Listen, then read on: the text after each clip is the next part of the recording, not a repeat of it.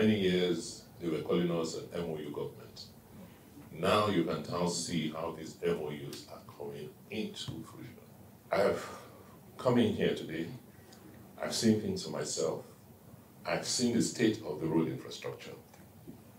Um, we're here with some of our contractors and the Commissioner for Roads, and immediately the rains subside in the next few weeks, next few days or weeks, the contractors will come straight to site to begin to rehabilitate.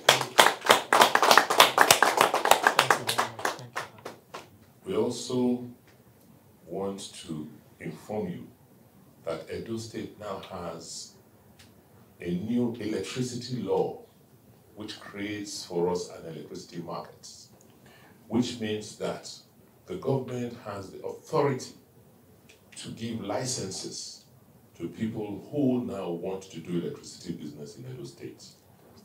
Now that you have capacity, I'll encourage you that you should look at expanding that capacity to the envisaged 50 um, megawatts and encourage distributors to come in and buy power from you so that you can sell electricity across you know, on the underserved areas. We are very interested in attracting investors to see communities like Eboisi, like Abudu, and the surrounding communities so that we can get these communities electrified as soon as possible and attract investors and investments into these areas. The Duport Energy Park um, is a product of Duport Midstream Company Limited, a midstream oil and gas company that benefited from both the federal government and state government's great policies.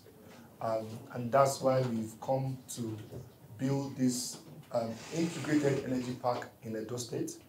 Um, the activities on this site include refining operations, we refine condensate crude, a partnership with Summit Oil into naphtha, um, AGO, um, the DPK and HFO.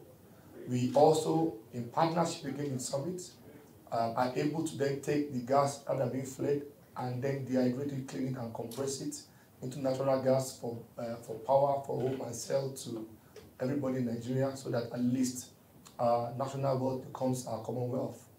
We also here have a power plant. As you can see, as you saw, we power ourselves here, um, taking the load of the grid. And the power also can also be um, exported, like we're planning to do with the state government as well to support uh, some of the governor's programs. And we have a tier 4 data center here, first of its type, modular as well. So we have started our tests production. We've introduced it. This is a major achievement for us.